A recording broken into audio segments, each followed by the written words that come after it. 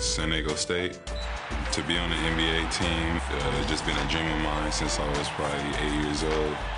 Just to get my name called on the team was just uh, be proud of myself and just just happy and excited to move on forward. I think my mental toughness just came from the, the environment I just lived in uh, throughout my life and just seeing my mom and just how hard she worked every day.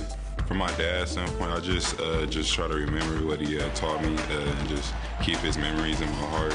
I think he'll be excited uh, just saying uh, all that hard work did pay off and just telling me uh, it's not over yet. You, know, you still got steps to go. Just keep moving forward.